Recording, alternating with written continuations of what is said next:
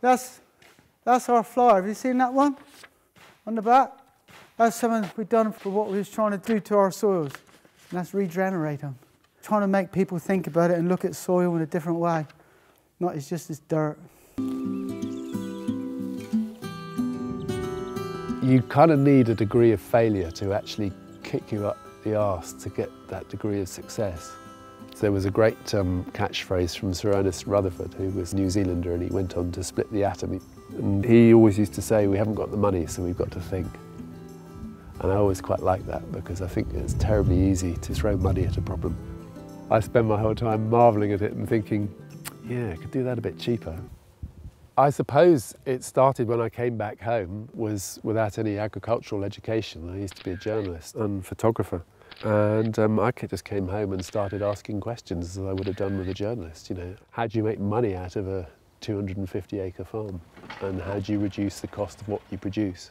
And I kept asking and kept asking and trying to find out who had the lowest cost of production. And it was very simple because it's a very simple mathematical equation in terms of cost of production. And if you get a lot of grazed grass into cows, you get a lot of very cheap milk and very good quality milk.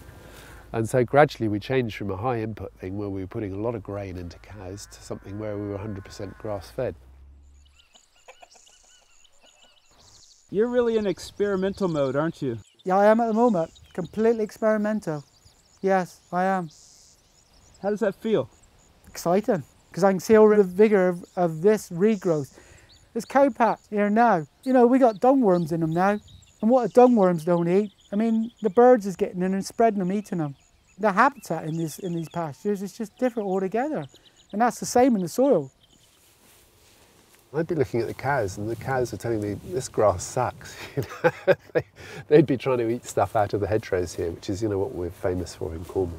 And it wasn't until Jerry Brunetti opened my eyes and he'd taken off a lot of the forage samples from hedgerows and tested them through the traditional methods of testing cattle food and found that actually they had a much, much greater depth of minerals and the cows tell you that. You know, they'll go off and go and graze all the trees, so you get this great mushrooming effect branching out over the fields.